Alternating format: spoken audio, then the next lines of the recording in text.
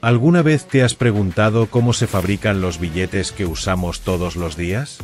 Aunque parezcan simples trozos de papel, detrás de cada billete hay un proceso de alta tecnología que garantiza su seguridad, durabilidad y difícil falsificación.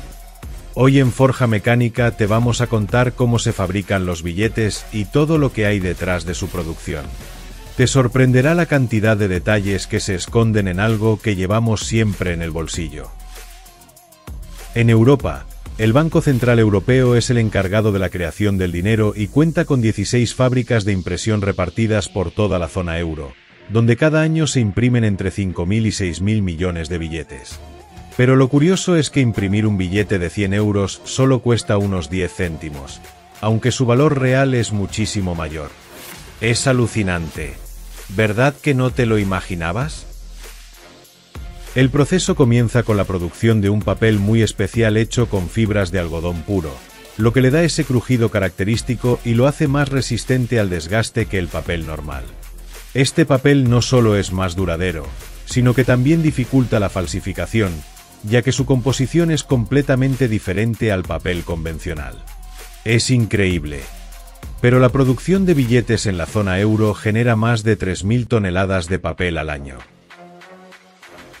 Desde el principio, la seguridad es clave y por eso se añaden elementos como la marca de agua y el hilo de seguridad. Seguro que ya sabes de qué estamos hablando, ¿verdad? Pero, ¿sabes cómo se añaden todos los elementos de seguridad?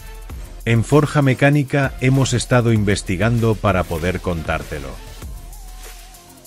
Antes de la impresión, el papel pasa por un proceso de preimpresión donde se insertan todos los elementos de seguridad. Por ejemplo, la marca de agua se crea presionando la fibra de algodón con diferentes niveles de densidad, lo que produce una imagen visible solo al trasluz. El hilo de seguridad es una tira metálica incrustada dentro del papel que también se aprecia al poner el billete al trasluz.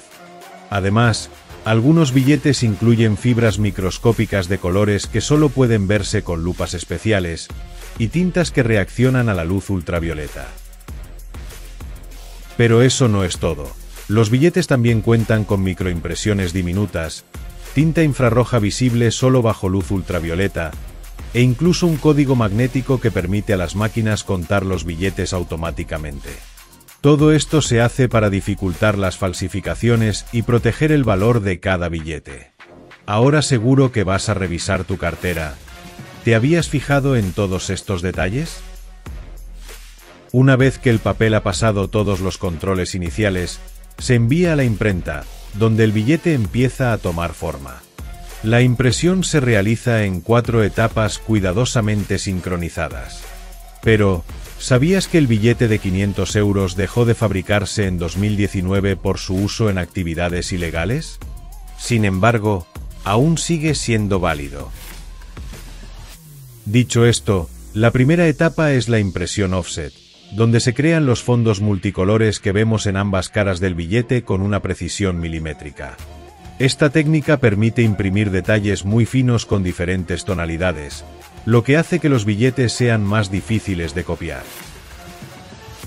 Después, se aplica la serigrafía, donde se añade el famoso número esmeralda, ese número brillante que cambia de verde a azul cuando inclinas el billete. Es uno de los detalles que más llaman la atención. Pero, ¿sabías que este efecto se consigue con una tinta especial que refleja la luz de manera diferente según el ángulo? Esta tinta especial, conocida como tinta ópticamente variable, es uno de los elementos de seguridad más avanzados. Lo habías notado, ¿verdad? La tercera etapa es la impresión en calcografía, también conocida como impresión en tagle, que es la que aporta el relieve que se puede sentir al tocar ciertas partes del billete, como los bordes o los retratos. Esta técnica utiliza prensas que aplican una presión de hasta 20 toneladas, lo que garantiza que el relieve sea perceptible incluso después de varios años de uso. Este método de impresión es clave para dificultar la falsificación, ya que solo se puede lograr con maquinaria especializada que aplica la tinta con alta presión. Finalmente, se añade el número de serie, que es único para cada billete e incluye una letra que indica la imprenta donde fue fabricado. Por ejemplo, si ves una letra X, significa que ese billete se imprimió en Alemania. Pero eso no es todo. Antes de que los billetes puedan entrar en circulación, pasan por un proceso de inspección riguroso. Cada hoja impresa es revisada tanto por máquinas de alta precisión como por personas, que buscan cualquier defecto o error en la impresión. Las máquinas pueden revisar hasta mil billetes por minuto, comprobando el color, la textura, el grosor y los elementos de seguridad con una precisión increíble. Solo los billetes perfectos pasan esta prueba. Los que no cumplen con los estándares son automáticamente descartados y triturados para evitar que lleguen al público. ¿Te imaginas que el control de calidad era tan estricto? Una vez que los billetes han pasado la inspección, se cortan en fajos de 100 unidades y se envuelven en plástico sellado para su protección. Después, se almacenan en cajas de alta seguridad que contienen 10.000 billetes cada una, listas para ser distribuidas a bancos centrales y entidades financieras. Pero el viaje del dinero no termina ahí. El transporte de billetes es una operación altamente vigilada. Los paquetes se trasladan por carretera en vehículos blindados, escoltados por fuerzas de seguridad o incluso en aviones para largas distancias. Desde allí, comienzan su viaje hasta los bancos centrales y entidades financieras, donde finalmente llegan a nuestras manos para formar parte del día a día. ¿Sabías que un billete de euro puede doblarse hasta 4.000 veces antes de romperse? Con el avance de la tecnología, han ido evolucionando para ser cada vez más seguros y resistentes al desgaste. Los billetes de la serie Europa, que se introdujeron en 2013, incluyen nuevos elementos de seguridad como la ventana con retrato, una pequeña ventana transparente que, al trasluz, muestra la imagen de Europa, la figura mitológica griega. Pero como ya sabes, los billetes no solo deben ser seguros, sino también duraderos.